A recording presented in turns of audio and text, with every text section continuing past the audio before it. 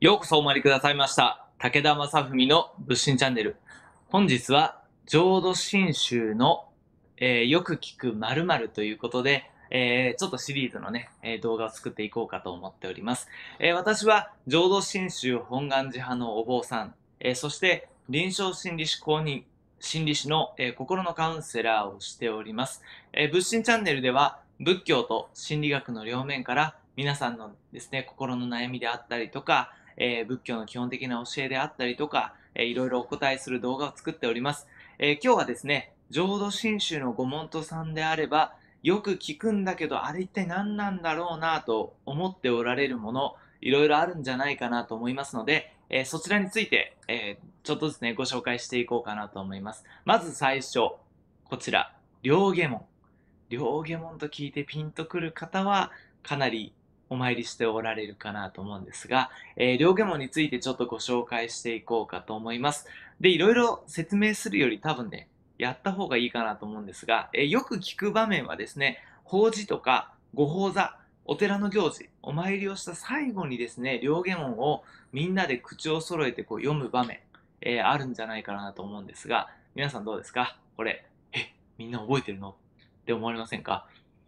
えーもうね、多分覚えておられる方もたくさんいらっしゃると思うんですが、浄土真宗のお寺に初めてお参りした方はですね、周りのみんなが覚えてて一斉に両下門を唱え始めて、自分が覚えてなくて焦るっていうことあるんじゃないかなと思いますので、今日はですね、両下門を一緒に覚えるっていうことと、えー両下門の意味をですね、ざっくりお分かりいただけるかなというぐらいまでの解説をしていこうかと思っております。さてさて、両下門でございます。両下門。ちょっと一緒にお唱えしましょう。えー、大体ですね、両下門始めるときにいろんな言い方があるんですが、えー私はですね、お両下門出言ということで、お両下門をみんなで言いましょうということを言って、みんなで声を合わせて、えー合唱してですね、これをお唱えし始めます。ちょっと読んでいきますね。もろもろの造業雑種、自力の心を振り捨てて、一心に阿弥陀如来。我らが今度の一大事の御章、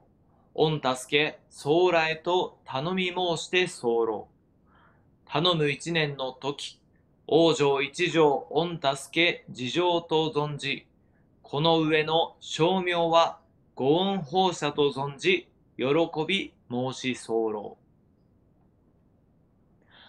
この恩断り、長門申し訳候こと、ご解散承認、ご出世のご恩、次第僧正の全知識の浅かざるご関係のご恩と、ありがたく存じ候。この上は、定めおかせられる恩を来て、一号限り、守り申すべく候。はい。いかがだったでしょうか、皆さん。えーこちらの両下門ですね、聞いたことありますか、えーこの両下門はですね、本願寺の第8代の御門主、蓮如上人がお書きになったとされています。えー私たちがですね、阿弥陀様、親鸞上人の教えをどのようにいただいて、えーこれからどう生きていくんですよということがこうまとめられているものになるんですが、えー端的に言うとですね、え浄土真宗の信心の内容を端的に示したものになります。えーご信心ですね、えーこちら、えー浄土真宗の中で最も大事なものになります。そしてこの最も大事なものをギュギュッと、えこれね、4つの文章でできてるんですが、この4つの文章の中でどう理解していくのか、どういただいていくのかというのがまとまったものになります。さて、意味をちょっと簡単にですが解説していこうと思います。もろもろの造業雑種というのはですね、えー、もろもろのいろんな修行のことですね。いろんな修行して自力の心を振り捨てて、いろいろな修行をして自分の力で仏になろうという心を捨てていくわけです。で、そういう心、自分でやろうという心を捨てといて、一心に阿弥陀如来。ただただ阿弥陀様のこと。で、我らが今度の一大事の五章。五章というのは、生の後ということで、一大事の、えー死んでいくことということで、命を終わる時のことを、私たちの今度の一大事の五章という言い方をします。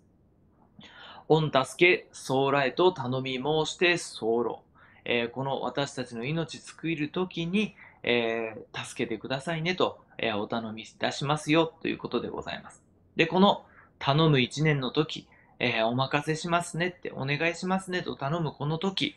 王女一条、恩助け事情と存じ、えー、私たちの王女、えー、助けていただけるということが、え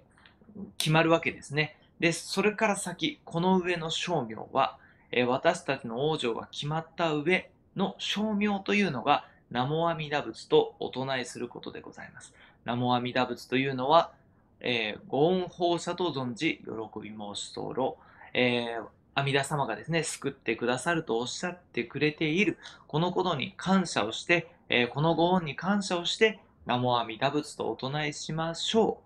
う。というのがこの二つ目の文章。さて、三つ目。この恩断り、弔問申し訳候こと、えー、この断りですね、阿弥陀様のお話を弔問聞かせていただきましたと。えー、五海山上人というのが、親鸞上人のことでございます。浄土真宗の、えー、開祖親鸞上人、ご出世のご恩、親鸞上人がこの世においでになったご恩、そして次第僧正というのはですね、次第僧正の全知識の浅からざるご関係のご恩というのは、親鸞上人から始まって、えー、ずっと代々ですね、私たちにこの浄土真宗の教えを伝えてくださった方々のご恩、えー、こちらをですね、ありがたく思っておりますよ、ということです。で、この上は、さらに、定めを課せられる恩を着て、えー、こちらはですね、えー、蓮如上人が生きていく上で、この世に生きていきなさいね、ということをいろいろ言っておられます。えー、こちらのことを、一号限り、え一生かけてということです。一生かけて私たちは守っていきますよ、という意味になります。さあ、いかがでしょうか。えー、なかなか難しかったと思うんですが、えー、まずですね、両言も覚えてください。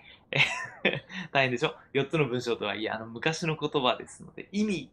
までね、なかなかっていうのはあるかもしれませんが、蓮如上人がですね、ぎゅぎゅっと浄土真宗の教えをおまとめいただいたものでございますので、えー、どうか皆さんこちらをですね、みんなで声を揃えて、えー、お唱えできるようにですね、ぜひ、えー、この動画繰り返し読んでいただいたりですね、えまたあの、お経本の中に両言も出てるんですよ。皆さんね、あれ出てるの気づいておられない方結構おられるんですが、覚えておられない方はお経本開いてお読みいただいて結構でございますので、両下門をみんなで一緒に口を揃えてお唱えし、えー、そしてですね、ゆくゆくは自分の口で覚えてお唱えできるようにですね、頑張って覚えていただけたらなと思います。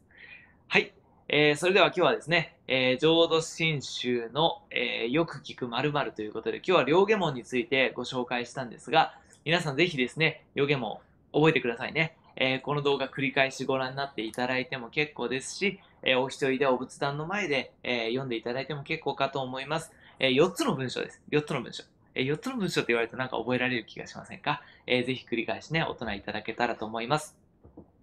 はい。えー、っとですね、このメンバーシップのことについて、ちょっとご案内最後にしようかと思うんですが、たくさんちょっとご質問いただけるので、えー、しばらくですね、いくつかの動画で解説しながらいこうかなと思うんですが、こちらの仏心チャンネルではですね、えー、広く皆さんに仏教と心理学をお届けする動画を作っていくんですが、えー、広くではなくてですね、もうちょっと限られたメンバーでやっていくこともいろいろ始めてみようかなと思っています。で、まず応援メンバーというのは、えー、月にですね、190円いただいているんですけども、えー、こちらの190円でメンバーになっていただいた方には、限定動画ということで、もうちょっとお経の詳しい勉強会をしてみたりとか、えー、この心理学、精神疾患であったり心の病気であったり、もうちょっと詳しい内容の動画をお届けしようと思っております。で、これもね、無料で出したらいいじゃないのって思われるかもしれないんですが、えー、実は広くこう出すとですね、やっぱり誤解を受けたりとか、えー、ちょっと裏の見方を取られてですね、批判や攻撃を受けてしまうということも YouTube あったりしますので、えー、応援メンバーでね、見てみたいなと、えー、武田を応援しながらご覧いただけるという方に限ってですね、まあ、私もまだ勉強しながらですので、えー、まだまだ拙いものではあるんですが、こちら、あの、ご覧いただこうかなと思っております。で、もう一つ、物心寺メンバーというのをご用意しています。こちらはですね、えー、1190円月額いただいているんですけれども、えー、 Slack というですね、あの、閉じたコミュニティが作ることができるんです。で、そこの中でみんなでお話をしたりですね、えー、自分の悩みについて私にメールを送っていただいたりとか、あと月に1回ですね、参加できる方とは一緒に、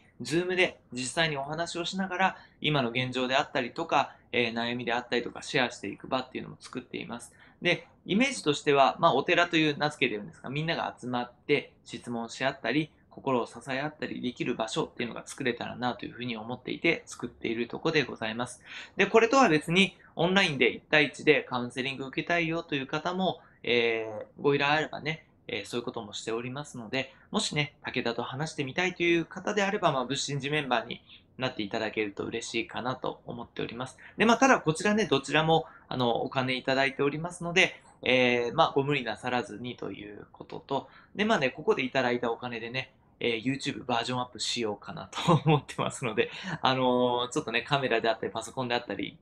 あのー、ゲットできれば、またね、より一層いろんな動画作れるかなと、企んでいるところでございます。